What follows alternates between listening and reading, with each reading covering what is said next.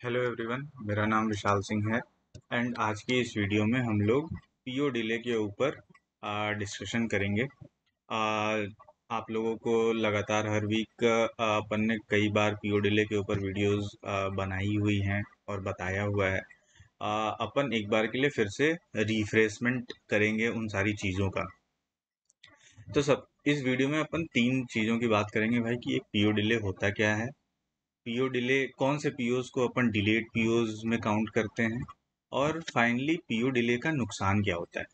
तो सबसे पहले अगर अपन बात करें कि भाई पीओ डिले होता क्या है तो एक पीओ दो तरीके से डिले हो सकता है। पहला कि पीओ आया और किसी ने एक्सेप्ट ही नहीं करा मतलब एक्सेप्टेंस में डिले हो गया। दूसरा पीओ को एक्सेप्ट तो कर लिया बट एक्सेप्ट करने के बाद भूल गए स्टार्ट ही नहीं किया। तो इन दोनों डिले को मिला के जो अपना फाइनल ये पीओ डिले होता है, इन दोनों डिलेज का सम होता है कि भाई पीओ एक्सेप्ट करने में कितना डिले हुआ प्लस एक्सेप्ट करने के बाद स्टार्ट करने में कितना डिले हुआ। ये होता है टोटल पीओ डिले टाइम अब अगर अपन बात करें भाई कि पी कौन से पीओज होते हैं जिनको डिलेड पीओज माने जाते, माना जाएगा या माना जाता है? तो ऐसे पीओ जिसमें ये जो पीओ डिले टाइम होता है एक्सेप्ट करने में डिले प्लस एक्सेप्ट करने के बाद जो डिले होता है इन दोनों का सम अगर पंद्रह मिनट से ज़्यादा हो रहा है तो ऐसे पीओज को अपन डिलेड पीओज बोलते हैं। मानते हैं कि ये पीओज तो लेट बने हैं। और फाइनली अपन आ, ये तो लगातार ही समझा रहे हैं आप लोगों को कि भाई एक जो पीओ होता है वो ऑर्डर के बराबर ही होता है। ऑर्डर की तरह ही उसको ट्रीट करना है। जैसे ऑर्डर का होता है कि ऑर्डर आया तो वो फटाफट बन के मेक लाइन से निकल जाना चाहिए, उसमें डिले नहीं होना चाहिए। सेम तरीके से पीओस को भी ट्रीट करना है कि एक पीओ आया तो वो फटाफट बन के रेडी हो जाना चाहिए। उसका जीआरएन टाइम से हो जाना चाहिए। तो ये चीज़ अपने को कल्चर बिल्ड करना है अपने आउटलेट पे कि भाई पीओ को ऑर्डर की तरह ट्रीट करना है और बिना डिले के बनाना है। पंद्रह मिनट का भी डिले क्यों? अपन तो वो बोलेंगे, भाई ऑन टाइम बनाएँगे। दो चार पाँच मिनट चलेगा।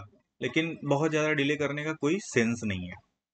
तो भाई यहाँ पर ये अभी अपन जो देख रहे हैं डिलेड पीओज वो होते हैं जिसमें पंद्रह मिनट का टोटल पीओ डिले टाइम होता है। पंद्रह मिनट या उससे ज़्यादा। फिर अपन बात करें भाई पीओ डिले से ओवरऑल नुकसान क्या होता है? तो मैंने पहले ही बताया हुआ है, फिर से एक बार मैं बता रहा हूँ कि भाई अगर पीओ डिले करते हैं तो उससे क्या होता है कि अपनी जो इन्वेंट्री होती है वो आउट ऑफ़ स्टॉक होती है। और एक बार इन्वेंट्री आउट ऑफ़ स्टॉक हो गई तो उससे भाई दुनिया भर का सेल लॉस होता है। कस्टमर ये तो सोचिए कस्टमर हमारे ब्रांड पे आया ऑर्डर करने के लिए, लेकिन उसको आइटम ही वो नहीं मिला, उसको वो ऑर्डर ही वो नहीं पंच कर पाया। सोचिए ना, ये कितना बड़ा अपने लिए गलत फीडबैक है कि कस्टमर आया हुआ चला गया। ऐसे समझिए कि पैसा आया हुआ चला गया। ये बहुत ही गलत है, इसलिए पीओ डिले तो अपने को नहीं होने देना है भाई। पीओज को ऑन टाइम बनाना है।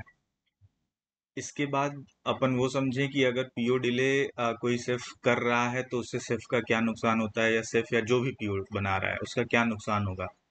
तो अपन पहले भी बता चुके हैं कि भाई अगर पीओज बनाने में काफ़ी डिले होता है तो इसका सीधा सीधा मतलब है कि आपने उस टाइम पर काम नहीं करा। बेसिकली टाइम वेस्ट करा एक तरीके से कि पीओ आया एक्सेप्ट करके भूले पड़े हैं या फिर एक्सेप्ट ही नहीं करा।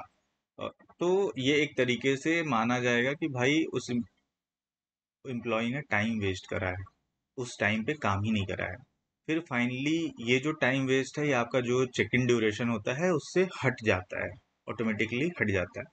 और एक बार जब ये टाइम वेस्ट आपके पीओ एक्चुअल ड्यूरेशन से हट जाता है तो उसके बाद जो फाइनल ड्यूरेशन आता है, उसके बेसिस पे आपकी अटेंडेंस लगती है। तो यहाँ पर आपको जैसे दिख रहा होगा आपका फाइनल अटेंडेंस क्या बनेगा, जो आपका चेक इन ड्यूरेशन है, उसमें से टाइम वेस्ट पीओ डिले की वजह से जो आ रहा है, वो माइनस हो जाता है। और फिर जो आपका फाइनल अटेंडेंस बनेगा, वो आपकी अटेंडेंस लग जाएगी। इसके ऊपर बहुत सारे से वन ऑन वन बातें भी हुई हैं। कई जगहों पर इम्प्रूवमेंट भी हुआ है। बहुत से, कुछ जगह ऐसे हैं जहाँ पर इम्प्रूवमेंट अभी नहीं हुआ है।